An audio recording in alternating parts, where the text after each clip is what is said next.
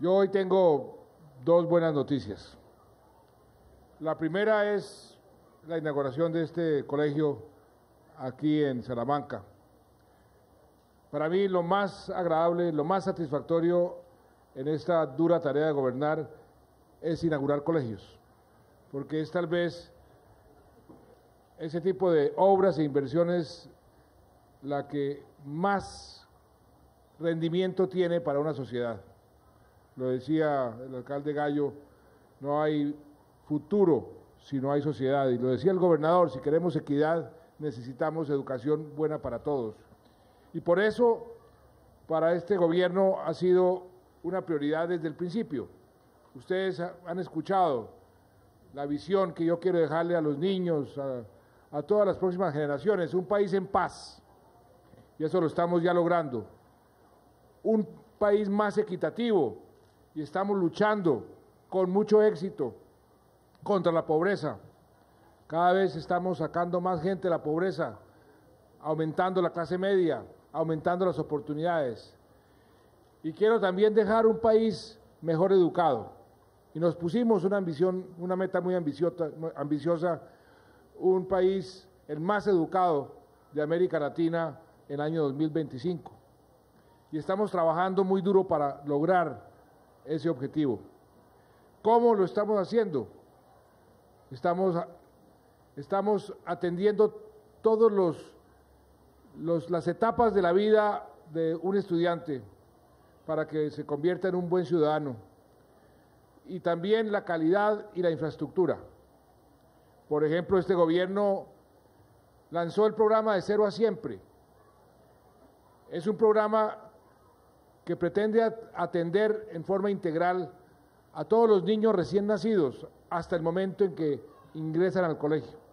La primera infancia es la inversión más rentable de cualquier sociedad, es primera infancia, porque un niño que en esa edad lo maltratan, no lo alimentan bien, cuando llega al colegio, llega retrasado, llega en desventaja con el niño que sí ha sido bien tratado, la niña que ha sido bien alimentada.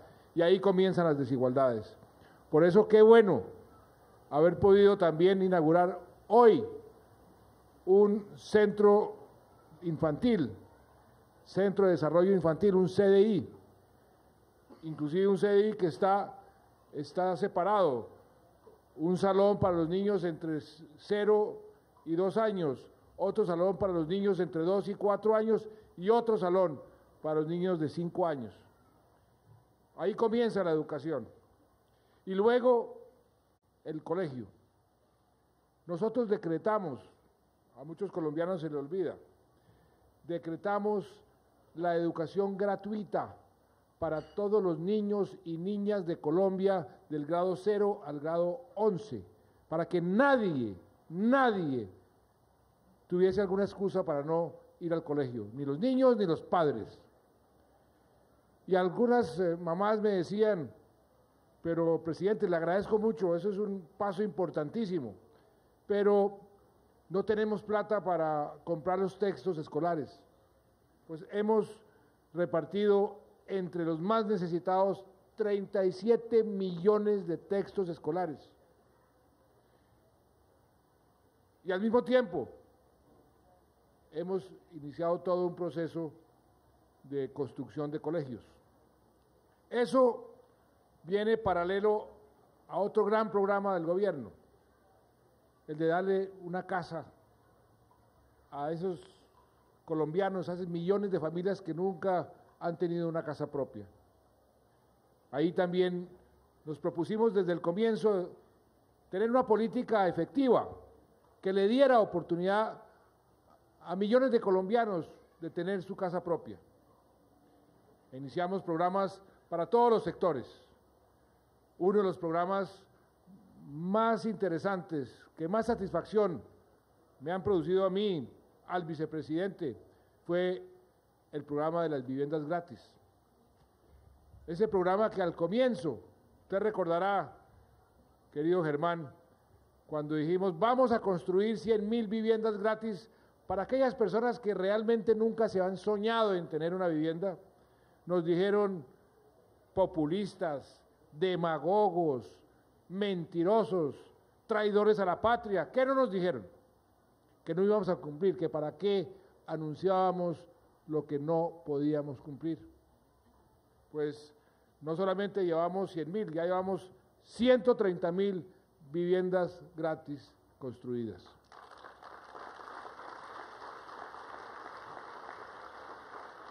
Pero cuando, cuando lanzamos ese programa, dijimos, no vamos a construir solamente viviendas, vamos a construir ciudades, ciudadelas, para que las personas que habiten en esas casas tengan lo, lo básico, tengan lo mínimo para tener una vida digna.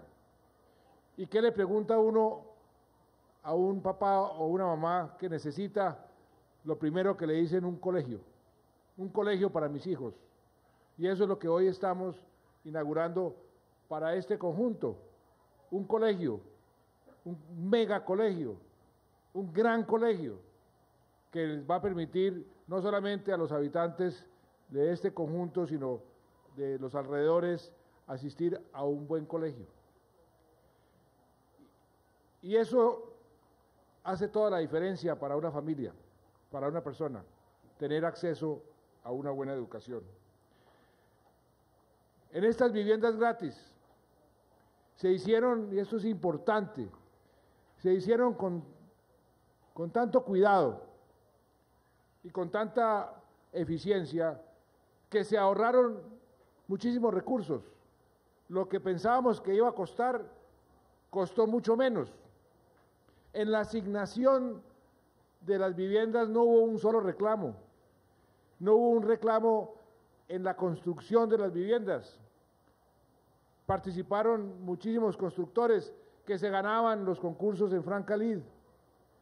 Y con esa plata que nos ahorramos es que estamos construyendo estos colegios y todo lo que se está construyendo alrededor de estas ciudades. La, la cubierta sintética para el fútbol, ahí está. Eso es parte de los ahorros en la construcción de las casas que quedaron muy buenas, pero que nos ahorramos una plata y entonces estamos construyendo eh, parques eh, deportivos, de recreo deportivo, bibliotecas familiares eh, y estamos construyendo, por supuesto, estos colegios y estos centros de desarrollo infantil.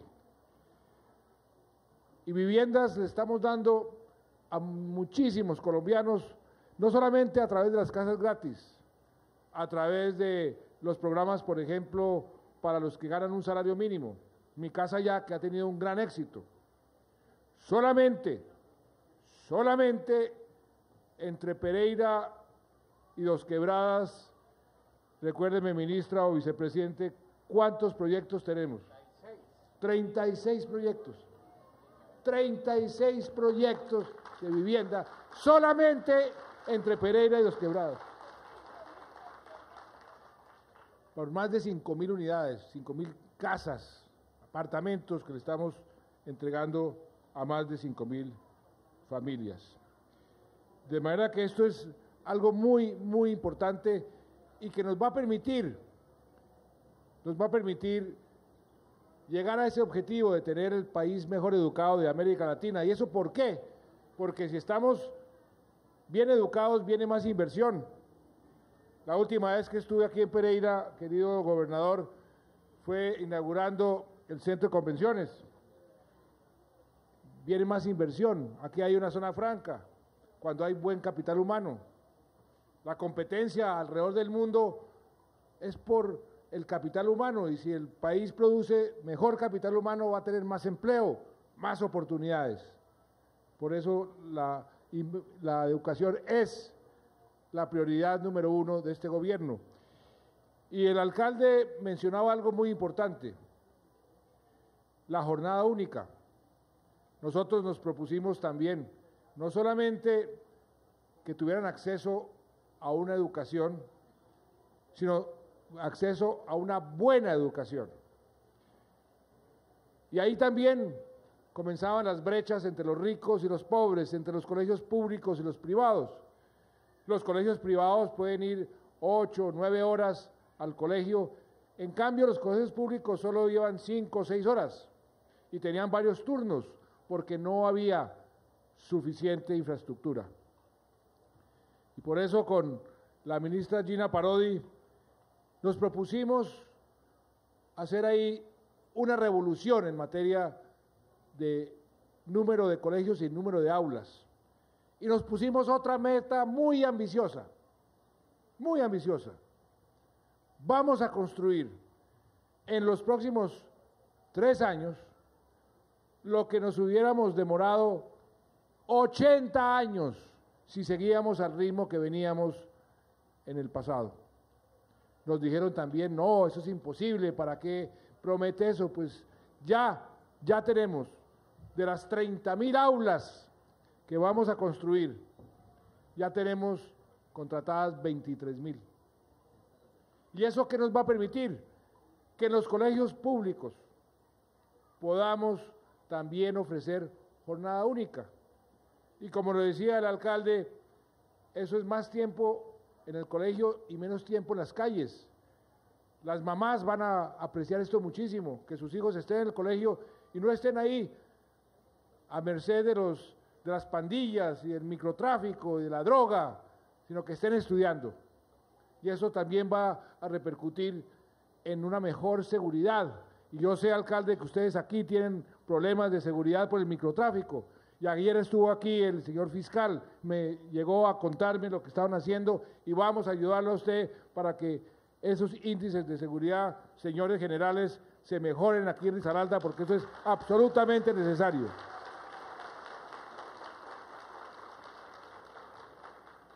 Y en ese programa de construir en tres años lo que íbamos a construir en 80, nos encontramos unos buenos socios en el señor gobernador de Risaralda y en el señor alcalde de Pereira.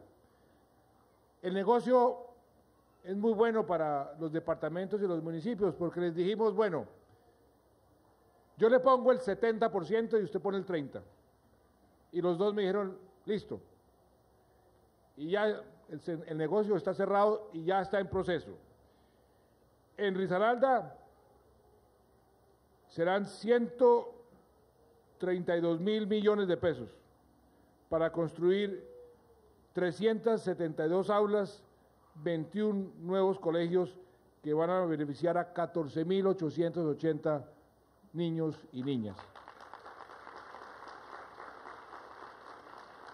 No tengo la cifra de Pereira, 85 mil millones de Pereira. O sea que también el esfuerzo del alcalde ha sido importante, como ha sido importante el esfuerzo para la construcción de este colegio, porque ahí también el alcalde se metió la mano al drill y puso su parte importante. De manera que ahí vamos en el camino hacia ese gran objetivo de ser el país mejor educado de América Latina. Y un componente adicional, un componente adicional es el acceso a la tecnología. Yo les prometí a todos los beneficiarios de las casas gratis que no solamente les íbamos a dar estas casas y estos colegios y estos centros de desarrollo infantil y estas canchas de fútbol y muchos CAIs y muchos puestos de salud, sino también acceso a la tecnología y les prometí que iban a tener acceso a Internet cada casa. Ya vamos en 25 mil de las 100 mil casas, me dice el ministro de las TICs. 25 mil de las 100 mil casas. Vamos a completar las 100 mil. Y vamos también a cumplir con la promesa. Yo traía los computadores, pero por algún motivo hubo un problema logístico, no los pude traer también con computador para cada casa. Eso se va Cada conexión de Internet irá acompañado de un computador para que cualquier niño tenga el mismo acceso a ese maravilloso mundo de la tecnología que tienen los niños más ricos de Bogotá o los niños más ricos de Nueva York, porque es el mismo acceso, es el mismo Internet. Y eso es equidad, eso es igualdad de oportunidades.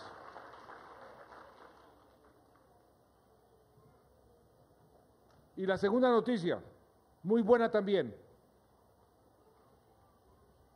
Se trata de las pruebas saber. Las pruebas que evalúan cómo están los niños en dos materias, en matemáticas y en lenguaje. Y se evalúan el grado tercero, el grado quinto y el grado noveno. Estas pruebas se vienen haciendo desde el año 2009. ¿Y por qué se hacen? Porque lo que no se mide no se puede controlar. Si un atleta no mide en cuánto tiempo corre los 100 metros, pues no sabe si está mejorando o está empeorando. Lo mismo pasa con la educación. Además nos permite revisar qué estamos haciendo, si lo estamos haciendo bien o si lo estamos haciendo mal. Y por eso nosotros desde el año 2012 decidimos reforzar esas pruebas para tener una buena medición. Y venimos haciendo un gran esfuerzo para que los niños además puedan presentar estos exámenes en computador y no en papel, para que comiencen a familiarizarse con la tecnología. Ya lo logramos en Manizales y en Cali. Espero que aquí en Pereira, querido gobernador, en las pruebas, próximas pruebas, lo hagamos en computador. Por otro lado, desde este año vamos a empezar a hacer una evaluación por estudiante. Antes eh, estas pruebas se hacían por colegios. Pero así como queremos ver cómo va el colegio, estoy seguro que a los papás, a las mamás les interesa cómo va mi, mi muchacho, mi muchacha, mi niño, mi niña dentro del colegio, si va bien o va mal. Por eso vamos a comenzar a hacer estas pruebas por estudiante. Ahora los niños y las niñas se van a poner las pilas porque los padres van a tener más control sobre cómo le están yendo. Felicitarlos si les va bien empujarlos a que les vaya mejor si no les va tan bien. En las últimas pruebas se aplicaron en septiembre del año pasado 2.400.000 estudiantes que fueron que pasaron el examen en más de 16.500 instituciones educativas, tanto oficiales como privadas. Y la gran noticia que les traigo hoy es que el IFEX las evaluó y los resultados son muy buenos. Comparándolos con el año pasado, con el año anterior, o sea, esto se hizo el año 2016, en septiembre, los resultados ya los tenemos, los estamos divulgando, y nos comparamos con lo que sucedió el año 2015. El país mejoró en los grados, en todos los grados que se midieron, en el tercero, en el quinto y en el noveno. Y mejoraron en las dos modalidades, en matemáticas y el lenguaje. Para darles un ejemplo, el puntaje mínimo es 100, el puntaje máximo es 500, el promedio es 300. Los estudiantes de tercero subieron 8 puntos, están por encima del, promedio, 313 en lenguaje. Subieron 8 puntos también en matemáticas, se pusieron por encima del promedio, 315. Los estudiantes de quinto Subieron 16 puntos, 313 en lenguaje. Subieron 4 puntos, 305 en matemáticas, todos por encima del promedio. En el grado noveno, que era donde más quedados estábamos, me preocupaba porque eh, el, desempeño entre más avanzabas, más avanzaban no era el mejor, eso ya lo corregimos. En el en el grado noveno sacaron 307 en lenguaje por encima del promedio, subieron 12 puntos y en matemáticas, que es lo que más contento me tiene, 313 subieron 17 puntos los niños y niñas de noveno grado. ¿Esto qué significa? Que subimos en todos los grados en las dos materias, o sea, mejoramos en todo. Y que hemos obtenido el punto más alto en todas las mediciones de toda nuestra historia desde que estamos evaluando a los niños en las pruebas a ver.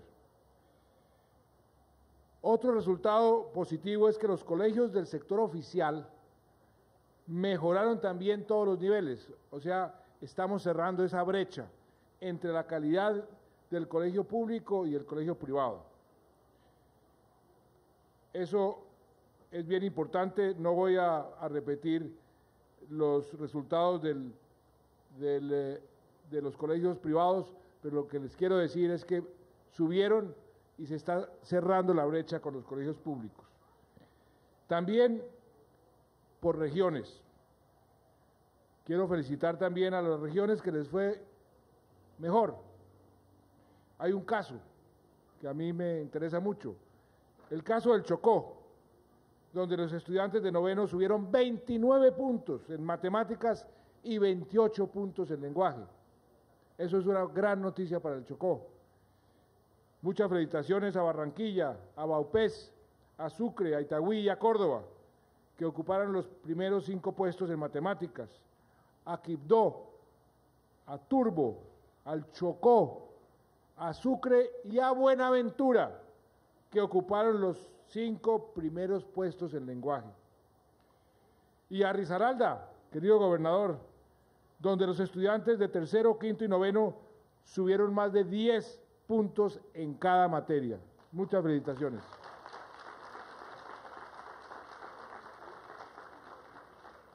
Todo esto ha sido producto de un gran esfuerzo de mucha gente. Eh, los profesores, las mamás y los papás de los niños, toda la comunidad educativa. Un trabajo además que confirma los resultados de las pruebas Saber 11 eh, y confirma los resultados de las pruebas PISA a nivel internacional, donde Colombia fue el país de toda América Latina que tuvo los mejores resultados en las últimas pruebas PISA. O sea que vamos en la dirección correcta. Hoy tuvimos una gran noticia también en materia de inflación. Hoy el DANE publicó las cifras de inflación en eh, las cifras para el mes de febrero fue de 1, 1%, 1,01, cuando el año pasado había sido 1,28. Esto quiere decir que la inflación sigue bajando, que ya llevamos a 12 meses una inflación del 5, 18% y muy pronto será menos del 5%, que los alimentos siguen bajando, ¿Esto qué, en qué se traduce? En menores costos para las familias, más disponibilidad de recursos, baja en las tasas de interés, más recursos para la vivienda. Pero estas cifras de inflación, para mí son unas cifras que por supuesto muestran una coyuntura, una situación.